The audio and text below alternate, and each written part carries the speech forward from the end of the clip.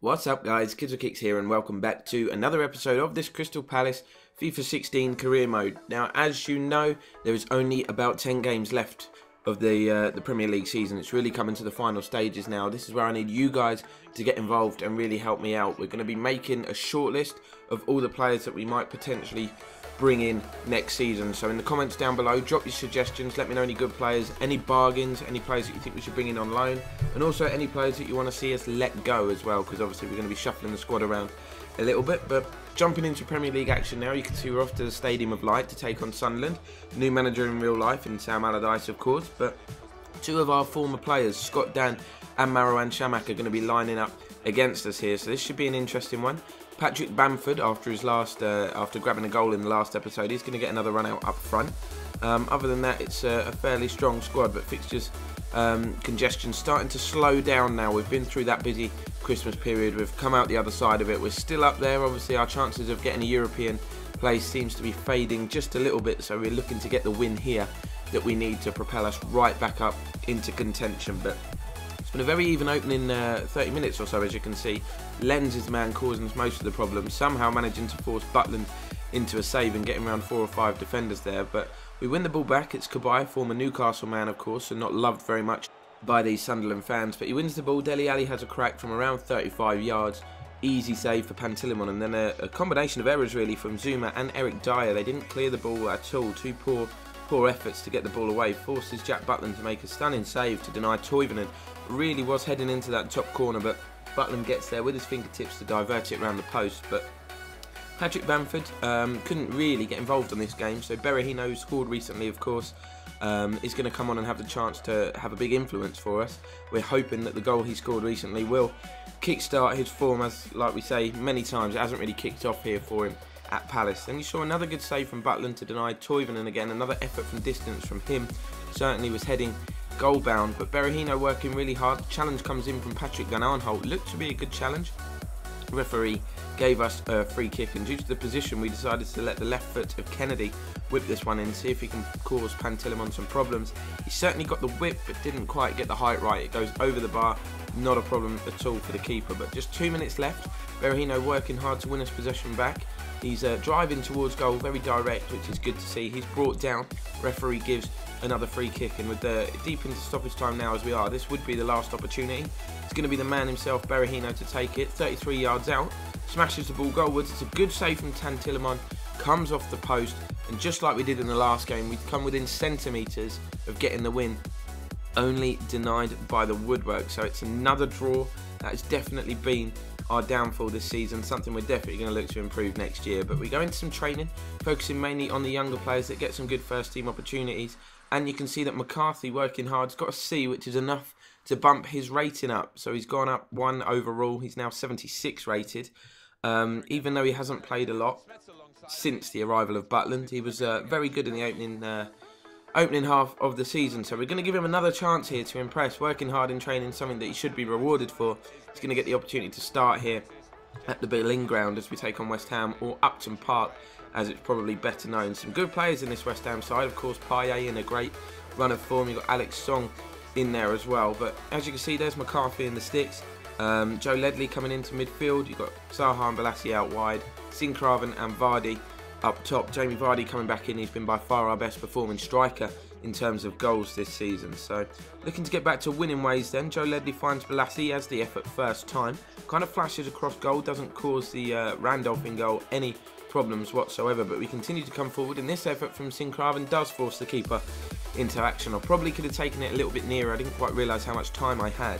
But I decided to take the shot and Randolph pulled off a decent save. But West Ham coming forward just after half hour. Souaré beaten to the header at the back stick. It's a stunning first save from McCarthy, but the rebound um, from Enner Valencia, and we are punished.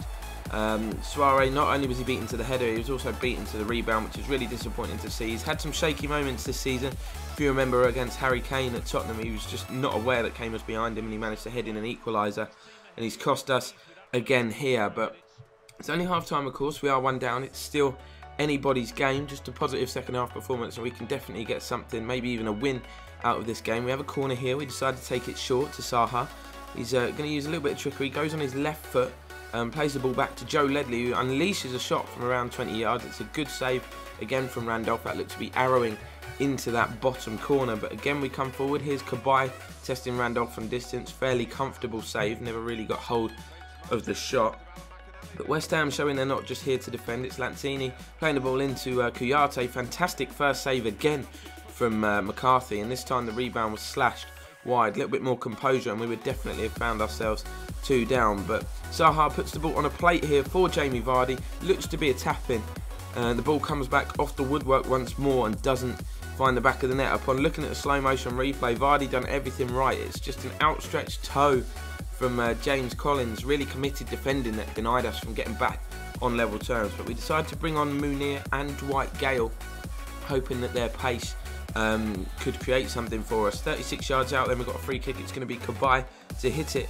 Randolph spills it, can't hold it. It's cleared away, fortunately for West Ham, and we're moving now into the sort of the last 10 minute mark of the game. It's Enner Valencia cuts inside his man, has the shot from distance that is sailing over not a problem at all. But moving into the last two minutes now, West Ham going to get another opportunity. Here's Lanzini. Um, stands the ball up to the back stick. We've misjudged the flight of the ball again. It's a great save from McCarthy. But the follow-up falls to a West Ham player, Malfintano this time fastest to react and manages to grab himself a goal. You can see more shaky defending from Souaré, misjudges the flight of the ball and then nobody else covers him or is there to react and Malfintano is left for a tap-in. So we suffer a shock, well, not really a shock defeat. It's a tough place to go, but we suffer a loss at the hands of West Ham, and that sort of sparks a little bit of unrest in the squad. Jordan Mutch saying he wants to play, wants to get some more play time, and he's not happy. But this is a joke. Perhaps Souaré, on the back of that performance, comes to us and asks for a wage rise. Are you sure, Pape? You're lucky we're even paying you at all after that last performance, but not going to hold you single-handedly responsible. It was just a poor game, but we're going to welcome Leicester now back at Selhurst Park Butland is back in the sticks despite that decent performance from McCarthy. Joe Gomez getting a start, as is Munir. Um, Dele Alli as well. Berahino and Vardy starting up top together. We've changed to a 4-4-2 formation in the hope that we would get more efforts on goal um, and, and, be a bit more creative, really. Uh, goals we have is something we have struggled with this year. Um, all right, defensively, obviously the odd game we've uh, conceded a few and leaked a few, but defensively on the whole we've been very good. The uh, least number of goals conceded in the league, so that's something we want to continue um, and, and, keep doing that. So maybe it is a case of just bringing in a few more creative players in January um, and just strengthening the squad overall in terms of depth. But you can see here Leicester had a positive start, but we're going to hit them on the counter attack. Berahino and Vardy linking up really well here, and Luke Vardy. He doesn't miss those. One on one with the keeper against his former club.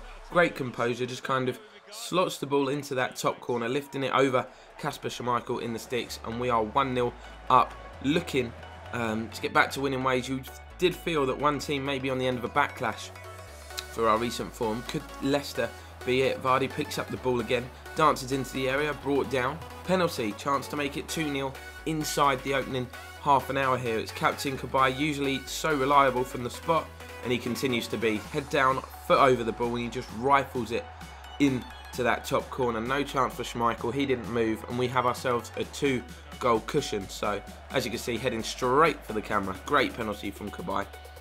And just five minutes later as well, we come on the attack once more. Berahino linking up with Vardy, flicks the ball on. Vardy decides to cut back onto his right foot. Is he going to have a go at goal? No, he's going to pick out captain Cabaye, who smashes the ball into the corner. We now lead Leicester by three goals to nil, and it's been a really, really um, not we haven't played amazingly. It's just been a clinical job, I should say. The chances we've had, we've taken. Um, which, if we could do every game, improve our finishing, we would surely smash goals in for fun. But just before half time, Leicester are going to have the chance to get themselves level. It's Kramaric, I think. Kramaric, not sure how you pronounce it. Feel free to correct me in the comments. But Butland, back in the side, pulls off a super save. But Into the second half we go. Really composed defending there, as you can see from Kurt Zouma. We look solid at the back, just nodding that cross from Dier back to uh, back to Butland. And then we're going to make a change. Um, Vardy and Cabaye are going to be rested. It's James McArthur and Connor Wickham, who hasn't had uh, a great amount of first team football this season. He's going to get the opportunity to come on. Hopefully, he can grab himself a goal. But more importantly from that, we just want to get the win. But you can see some really good link up play from Leicester. And then, how about that for a finish from Moore? Um, just really good one-touch stuff. He strikes it first time, and Butland was given no chance. Look at the technique on that. Strikes it with the laces, swerving away from keeps. into that top corner. So Leicester, is that a consolation or are they back in the game? We're going to work it forward. It looks as though Berahino is going to go for goal. It was a really strong challenge from Robert Huth in the box. Had to be careful, but he got it spot on. But Connor Wickham threw on goal here. Chance to restore our three-goal lead. The first effort is saved, and the follow-up from Kennedy was straight down the throat of Schmeichel. But the drama wasn't done there. We're into stoppage time now. Um, really good ball through to Dele Alli here. Could he grab himself another goal? He's brought down clinically, or professionally I should say, from Richie De Laet. Referee has little to no option but to brandish the red card. It was a professional foul, goal scoring opportunity.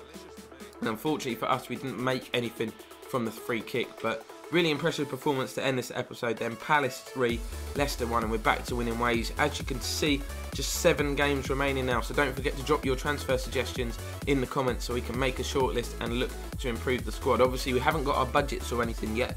If we can grab a European place, you can see we've got a game in hand on Arsenal despite being 8 points behind. It is unlikely, but it is still possible. So we won't give up. Chelsea top, City are now second, Everton third, Spurs fourth, Arsenal fifth, United sixth, and then we are down there in seventh place. I say down there, we're still exceeding expectations. They wanted the mid-table position. We've we've been in contention for a European spot right from the off, so we're doing well. Perhaps the main surprise is when you look at the other end of the table. Stoke City, rock bottom, seven points adrift um, of safety, so real shocker for them. Um, but that's going to bring this uh, episode to a close, guys. There's still time for a lot of things to change in the table. Follow me on Twitter, Twitch, like the Facebook page, everything like that. All the links are in the description. Drop a like on the vid, and we will see you next time.